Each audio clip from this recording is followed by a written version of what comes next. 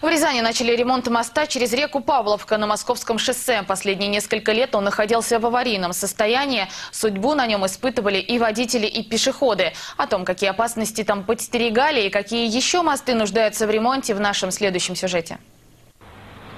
Этот мост пережил страшные годы Великой Отечественной. Был оборонительным рубежом от фашистских захватчиков. В мирное время не устоял. Парапета давно нет, под ногами бездна. Он требует глобальной такой реконструкции, может быть даже смены этого моста, потому что он уже отслужил свое давно. ВАЗ-2112 следует по московскому шоссе. В какой-то момент машина цепляет отбойник и летит со злополучного моста прямиком в Павловку. Эта авария произошла полгода назад. Ремонт так и не провели. В итоге горожане рискуют в любом случае либо упасть вниз, либо угодить под колеса автомобиля. Ведь официально пешеходную зону ни власти, ни застройщики здесь не предусмотрели. Машинам неудобно. Идет человек с тележкой, вдруг заденут его, и они переживают, и я. Наша рязанская лень наших рязанских чиновников. Кто отвеч... Кому писать письмо? Администрации города Рязани.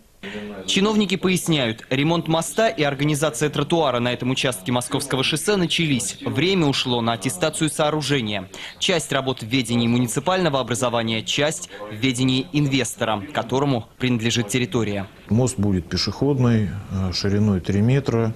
Вот, достаточно интересно у него э, архитектурное решение этого моста.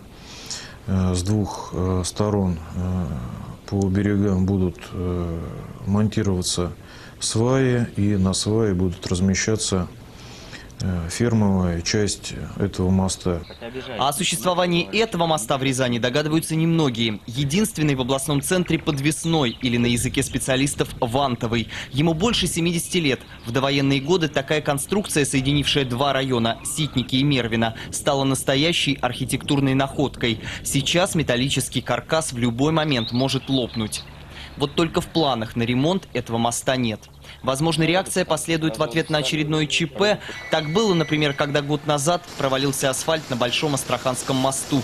Впрочем, реконструкция лишь создала видимость благополучия. Мост и поныне в удручающем состоянии. А ведь именно каменный Астраханский когда-то считался красивейшим архитектурным объектом областного центра. В 80-х годах прошлого века планировалось восстановить под ним арку, организовать единую прогулочную тропу от Кремля до ЦПКИО. Впрочем, сегодня жителям уже не до архитектурных изысков. Хотят хотя бы безопасности. Максим Ларин, Сергей Громотеев, Вести, Рязань.